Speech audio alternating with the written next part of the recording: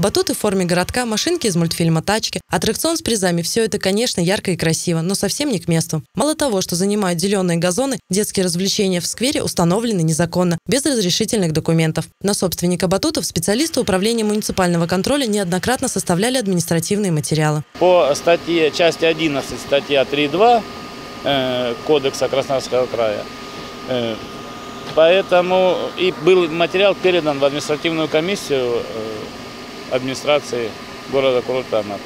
По данной статье э, штраф и предупреждение выносится или штраф 1000 рублей. Повторно на, за нарушение, э, это же нарушение, выносится 2500 рублей штраф. Сейчас составлено административное производство. Самовольно установленные детские аттракционы, как грибы после дождя, появляются на благоустроенных территориях, любимых местах отдыха анапчан и гостей курорта. Не так давно подобный факт был выявлен в парке Ореховая роща. Главу Анапы Сергея Сергеева возмутило иждивенческое отношение коммерсантов.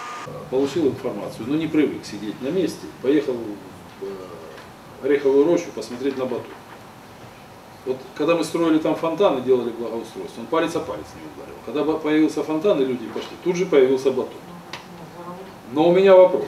Заработать Бога ради. Пусть он придет, скажет, я буду убирать полностью всю ореховую рощу, обеспечивать вывоз мусора, но хочу поставить здесь батут.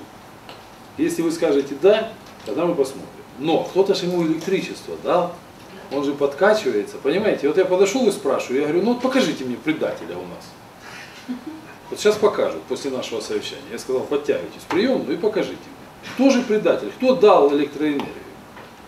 А электроэнергия, мы же за нее платим, да? Она, скорее всего, запитана, да не скорее всего, а запитана от э, уличного освещения. Там фонари торшерные стоят.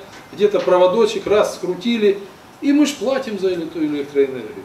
Из бюджета, все нормально, а он э, подкачивает батут. И правда, очень выгодно расположить аттракционы в чистом ухоженном парке, пользоваться плодами чужого труда и при этом ни за что не платить. И заметим, ни за что не отвечать. А ведь незаконно установленные аттракционы – это еще и источник опасности, о чем многие жители и гости города-курорта даже не подозревают. Ну вот извините, я ведь документы не спрашиваю, и ребенок у меня не спрашивает документы. А вы беспокоитесь о безопасности своего ребенка? Э, вы знаете, я всегда нахожусь поблизости с ребенком и даже хожу вокруг. И вижу, как он занимается, как он прыгает. Даже под присмотром родители не всегда могут обезопасить ребенка от травм. А как установлено оборудование, подключено электричество к незаконно установленным батутам, неизвестно. Это, конечно, опасно, если незаконно. Если ничего не оборудовано, безопасности ничего не продумано, не организовано, конечно, опасно. Ходим на батут. Только трав... очень травмоопасно. Все время сдираем коленки, локти.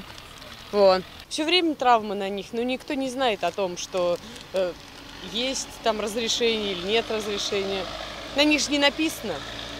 Собственник легально установленных аттракционов известен, и в случае травмирования детей есть кому предъявить претензии. С недобросовестными предпринимателями проблем будет намного больше. Борьба с незаконными некапитальными строениями на курорте продолжается.